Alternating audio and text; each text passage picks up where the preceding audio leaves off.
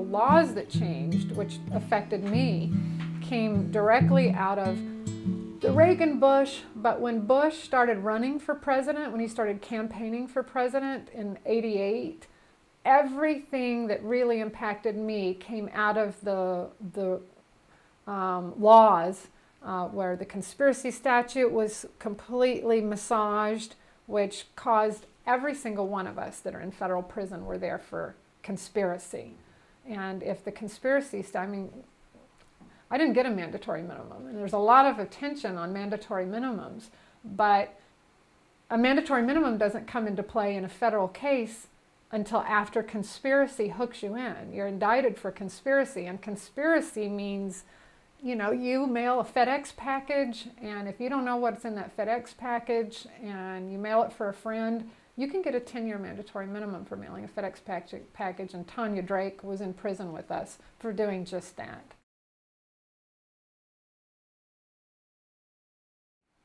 Clinton doesn't have the record. Um, Bush Jr. has the record. Yeah, because everybody trumps one um, another. When Clinton left office, there was about a million people in prison. By the time Bush left, there were 2.5 million, right. arguably up to 3 million. Right. And up to mm-hmm. 8 million on correctional supervision. I think that was at the apex of it. Over the last two years, the prison population has slightly decreased hmm. because Michigan let loose a bunch of right. inmates. California was ordered to let 40,000 out, and they still have managed to keep that system going. In fact, they've appealed it to the Supreme Court. The Supreme Court's going to hear it. So it seems like it is a true quagmire that no matter what we do, we sink deeper and deeper and deeper. Well, money is involved, and jobs, and the prison union is invested. Somebody said they went to um, uh, it wasn't Corcoran, but it was some federal prison, and there was a sign in the waiting room, and it said, three strikes means um, job security. And for the prison union, um, three strikes is literally job security for them because what happens is there's there used to be almost an equal number of people that would finish their sentence and leave prison to the people coming into the system. But now that doors have been shut, nobody exits prison and people just keep coming in. And you know, you might exit when you're 70 or 80 years old, and I don't know what you're supposed to do at that stage. But um, they're not going to let, their talons are in this thing, and they're not going to let loose. And they'll uh, manipulate the media any way they can. They want everyone to think that everybody in prison is a child molester, a raper, a violent person, and that just isn't the case.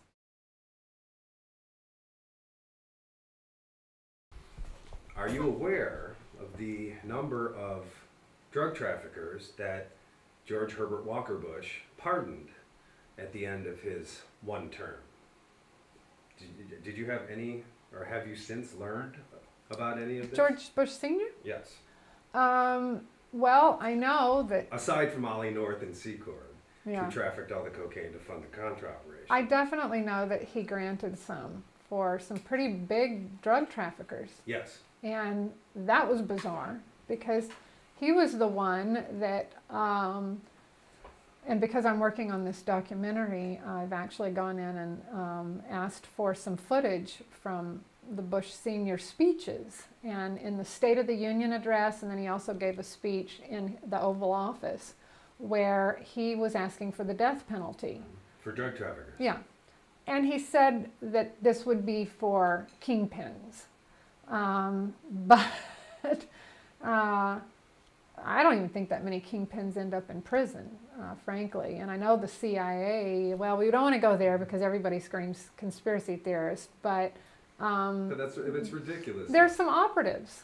There are definitely some operatives who are huge kingpins who know how to curry favor with whether it's the CIA or another government agency in this country, and they're overlooked.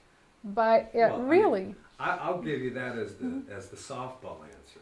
I mean, the fact is, is I could put a stack of books on that table right now that shows how the CIA has been directly involved. Mm-hmm. In fact, even overseeing, controlling the drug trade for almost 60 years. Right. How they've used drugs mm-hmm. to fund revolutionary mm-hmm. armies in all corners of the Absolutely. And it's an absolute proven fact. It's been, It is. it's been documented endlessly, and we are still dithering about this being a so-called conspiracy theory. Well, it's not a conspiracy theory um, because, um, and I have, again, collector of articles, I have um, article when I was in prison where the CIA actually admitted that once a ton, over a ton of cocaine had come into this country, they admitted that they lost it. That it was supposed to be evidence used in a sting or whatever, but they had somehow lost it. And the reason why they admitted it was apparently it was going to come out in a 60 minutes probe anyway, and they thought that they they had might as well just go ahead and admit that it happened. but those uh, kind of uh, never get any traction. But um, There's a, a federal civil case that was brought by a, it's class action suit by DEA agents who had their jobs, careers, and their reputations compromised or ruined because they were following drug Mhm. leads. And the CIA was involved with the drug traffickers and involved in the trade. Mhm. And they end up screwing all their lives. And Sally Castillo and Michael Levine are only Michael two Levine. of, of just a, a Oh, wow. scads of these. The federal court records are sealed. You can't ever look at what happened in this civil case. I mean, Eh, you know, if, if anybody ever wants to read the best single source on the whole thing, they should read Whiteout by Alexander Cockburn and Jeffrey St. Clair. It's one of the scariest books I've ever read. When I was in federal prison, a bookmobile would come to the prison and we could put in our requests. And I read every single one of Michael Levine's books. And